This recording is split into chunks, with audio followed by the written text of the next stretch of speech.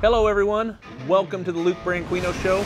All right, my guest now we're going to have Matthew Rhys. Matthew is a good friend, an actor, but most of all is known for his tour guide skills. I had some great conversation and a great horseback ride with Matthew when we first met in the hills of LA. Matthew, I don't know if you remember that. I want to know how a Welshman knows so much about the Hollywood Hills. As a Welshman, there's not that many of us. There's only about 3 million people. And so I've been living in uh, Los Angeles for a long time and I've been visiting Griffith Park in LA. For some time I wondered, I said, why does Griffith Park have a Welsh name like Griffith? Who was Griffith? And I set about researching him. And the story that unfolded as I bored you with it over a three hour horse ride through the Hollywood Hills was that this man from Wales back in kind of 1875 came to LA. I mean, the short version is like the film There Will Be Blood meets Citizen Kane. He kind of, through his own force of will, shaped Los Angeles, created such a terrible crime that LA went out of its way to eradicate him from the history books.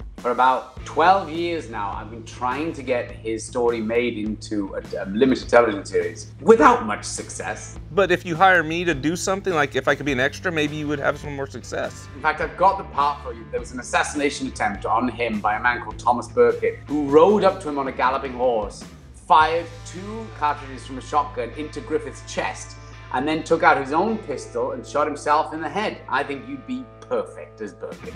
If anyone can shoot himself in the head, fall off a horse, it's you, Going back to your tour guide service, when we went to New York, Matthew, you took a picture of Lindsay and I and the Statue of Liberty in our background. That was a great night. You took us to the bar. What was the bar you took us to? There's a very specific area in Brooklyn called Red Hook. The last kind of longshoreman's bar, it's called Sunny's. Now it's become a bit of a mecca for people who are trying to find the last dive bar. So I was like, ah, they've become aware of who they are. Now they're selling t-shirts to idiots like me.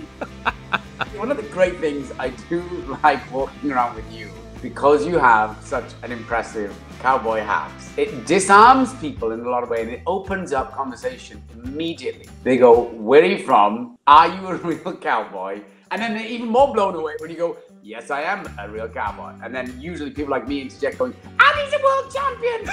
Shut up. What about the time, and I think you were on this helicopter. Oh my God, yeah.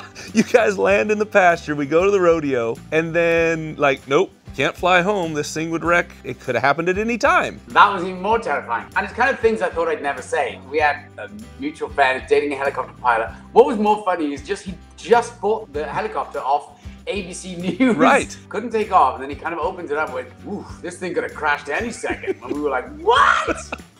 Are like, can we borrow a truck? And you're like, yeah, sure. The crazy part was you guys land, we go to the rodeo, come back. He takes, I think, my mom and Jameson or one of the boys for a tour. Then when he lands, he's like, we need to drive home. I need to go get some parts. Yeah, yeah, like a few blades.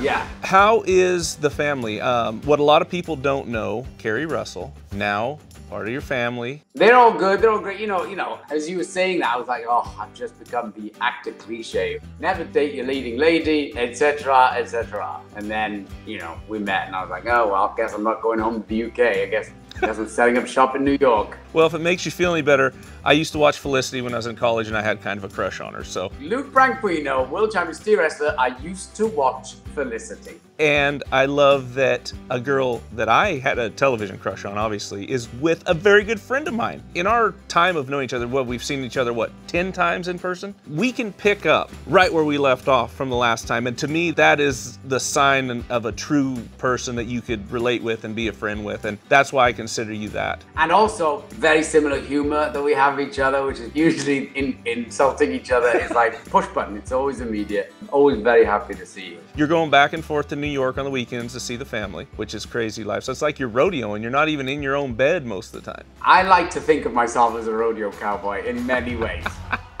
Least of all because I'm on the road a lot. Stay out of the beer stand. All right, well, best of luck to you. Thank you, Matthew, and we'll be talking to you. Thanks, dude. Take care. I'll see you soon. You bet.